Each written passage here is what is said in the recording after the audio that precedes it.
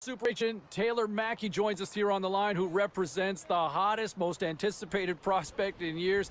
Taylor, give us the 411 on the kid here. Hey, morning, James. Well, look, you may not believe this, but the kid's up here on Carter Lake. What? playing pickup, yeah, with a bunch of other kids. Just, it's a beautiful day. Pricey pond hockey you got going there. yeah, yeah, I suppose it is. But look, that's how much this kid loves the game, man. Well, just safety first up there. Now, of course, I, I got to ask you. We, we've seen the scouting reports, we've seen the highlights, but we know about the player. But tell me more about the person. What's this rookie really like? Yeah, sure, James. Uh, let's begin.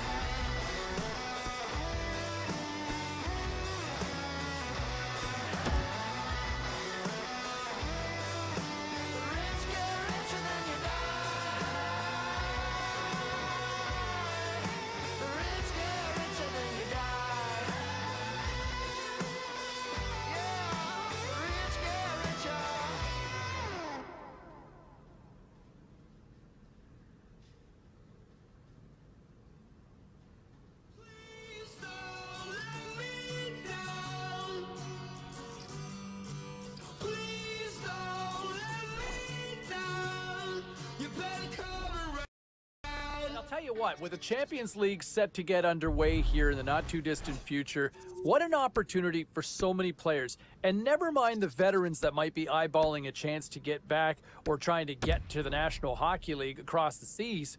How about as a youngster? I mean, scouts love youth, management loves youth. And what an opportunity to shine. If you can fit, if you can have some success in this tournament, boy, this could really bode well for your hockey future and really pay off financially as well if you can have a strong showing. All right, we're going to break down, look at some of these teams that are involved in some of the head to head matchups, and we'll do that in a moment.